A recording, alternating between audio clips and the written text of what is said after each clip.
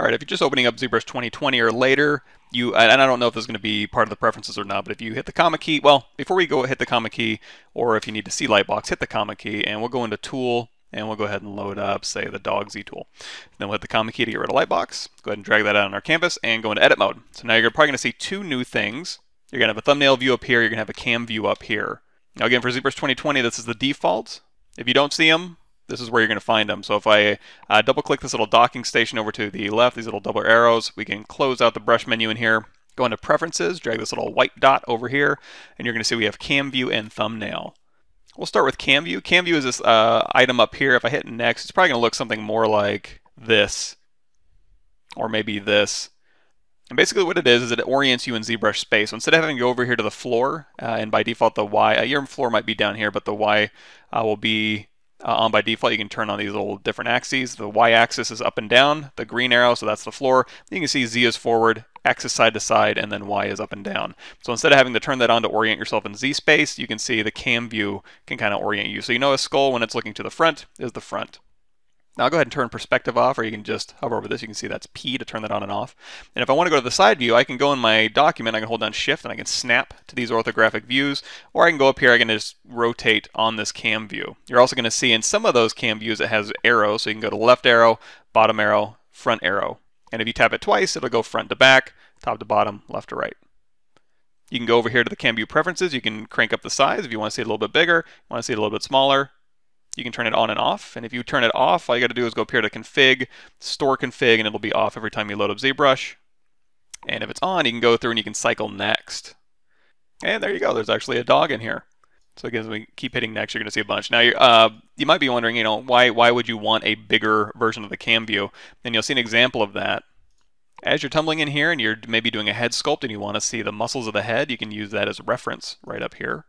And if you want to see the making of this, if you go to my YouTube channel or my Gumroad page, there's a ZBrush 2020 What's New, and you can go through here, and I go through several videos of kind of fine-tuning this, adding your own arrows. I'm not going to bloat ZBrush for concept and ideation with a bunch of cam view stuff. It's interesting, but more than anything, you just need to know what the functionality of this is. However, really quickly, if you do want to make your own, like uh, we already have a dog in there, so I'm just going to go ahead and hit the comma key, and let's go to our project tab and we'll just double click this demo anime head. And now we have this demo anime head in our scene. So you're going to see right down here under cam view, you're going to see a make cam view.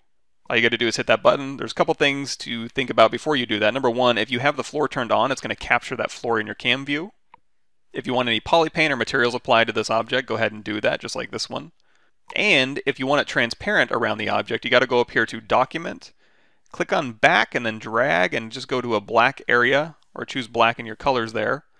So we'll go ahead and uh, we'll also turn off perspective so while we're in the orthographic view it's a nice straight on shot. So turn off floor, turn off perspective, make your doc background document black. And one more thing you need to do, go down here to deformation and hit this unify button. It's not going to do anything to this because it's already in the middle of the scene, but essentially what unify is going to do is put the object right smack dab in the middle of ZBrush World 000 so then when it's taking the pictures of the cam view, it's just going to cycle correctly. If it's way up in space, if you hit the W key and just move it up here, uh, and you try to use cam view, you're going to see world spaces down here. It's not going to work that well. If you have multiple subtools, go over here to Subtool, Merge, Visible. And in fact, let's pick a little bit more of a challenging object now that I say that. Let's go into Tool here, and we'll double click the Demo Soldier. And now to make sure this is all unified, which he may be, uh, I would go down here to deformation unify, but it's only going to do it for the active subtool. You see it's going to be uh, already unified. And unifying really is just to center on world 000. I could cam view this guy and he'd probably be fine because he is centered on that world axis. But just to play it safe, what I'm going to do really quickly is just go over here to merge visible. And I'm going to go grab this merge demo soldier. I'm going to go back down here to deformation unify, just hit unify, and then I'm going to hit this make cam view. It's going to go ahead and make my cam view, and now I have a demo soldier. Again, if you want to see how to put arrows on your screen or go into Photoshop and make arrows, you can go watch that on my YouTube channel. If you want to save this out, all you got to do is go over here to Texture, Export, go to your C Program Files, Pixologic ZBrush 2020, Z Startup, because it's going to start up every time you launch ZBrush, so this is cam view is going to be in there. You're going to see there's a bunch of cam view in here, so we can go ahead and name this demo soldier.psd and then we'll go ahead and go over here to turn texture off. And then now if you go up here to config, store config, you'll always have your demo soldier show up. Or if you want to just make it this different size, just click on that and just type in 128. Or if you don't want to see it at all, just turn it off. And then again, go up here and store config. Next up, we got thumbnail. Just like cam view, you can just turn the th thumbnail on or off. Uh, to make it larger or smaller, you can go up here. You can. There's two ways to do it. You can make the size bigger or smaller. And you can see when you use size, that actually stay, capes, uh, stays nice and crispy. Very uh, high resolution. Magnify will kind of overcrank it. You'll start get some aliasing, but you can really uh, magnify that up. You can also just click and drag in here and resize it. You're going to see uh, up here it says thumbnail size, and also down here it's going to change the thumbnail size on the fly. Anything you have in your scene is going to be viewed in your thumbnail. In fact, if we go back to the demo soldier with 11 subtools, you're going to see if I turn on transparent, it's only going to show like the vest, for example. Even though I'm not in solo mode, it'll only show the vest. However, you can also go into solo mode, and as you click through your subtools, it'll only show the selected subtool. As well as if you turn off transparent, you turn off solo, you hold down shift and turn off these eyeballs. Um, again, you can just kind of cycle through these just through visibility, and the only ones visible are going to end up showing up Let's go ahead and hold down shift and turn this eyeball back on so we can turn them all back on.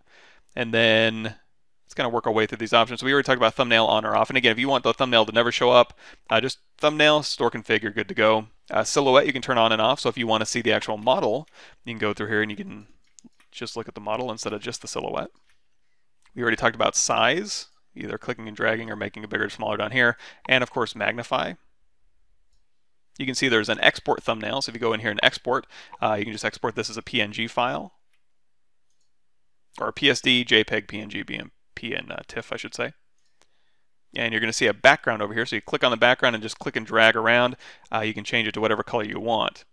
Now, while you're in silhouette mode, as you're changing the background color, the object color is going to change as well to the complementary of that color. So if you click on background and start changing this, you're going to see it's just going to choose the complement of that color.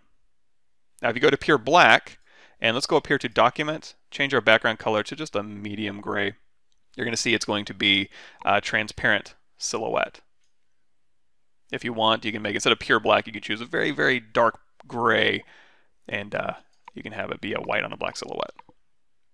Now, your thumbnail proportions are controlled by your document proportions, so if you want it to be square, go in here, turn off Pro, we'll make this top one 953, hit Enter, hit Resize, hit yes, hit control N to clear your canvas, drag your object back out, and then you'll see you'll get a nice square thumbnail.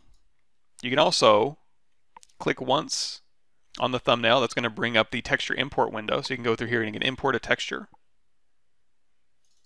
And once you've selected it, it's going to end up as your background image. So if you're trying to match something with your silhouette, you can just load an image in there.